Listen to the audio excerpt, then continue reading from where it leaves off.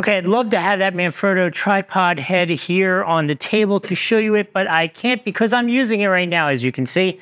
Um, but let me talk to you about it because I have actually been using it and it is so freaking amazing. It is aluminum construction, so it's nice and light, but it's still solid. It's still really solid. You can adjust it in all three axes, which is really good. And I really love, I don't know if it's this one in particular, there's a lot of feel to it. So like it's not hard for you to get the camera like tight enough so that you it doesn't shift. But at the same time, if you need to make a little subtle adjustment, you can still make that little subtle adjustment.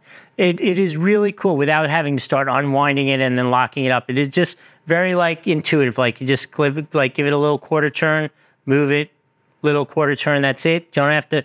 No muscle required. No hook you know, no really grunting it down. Super flexible, the way you can use it, all that kind of stuff. The mount system, the way the camera mounts on, super secure. I do have one issue with this, and maybe it's my boy hands, but let me show you fastener to take the camera on and off the mount, which I happen to do a lot, is kind of in a difficult position to get to, and it's kind of hard to get your fingers on. It's like a little annoying, but um, can't have everything. I don't know what the right answer is for that. Um, maybe it just needs like a longer knob or something. In any case, that is my one and only complaint about this, that that thing's a little hard to reach, but absolutely everything else about this is phenomenal.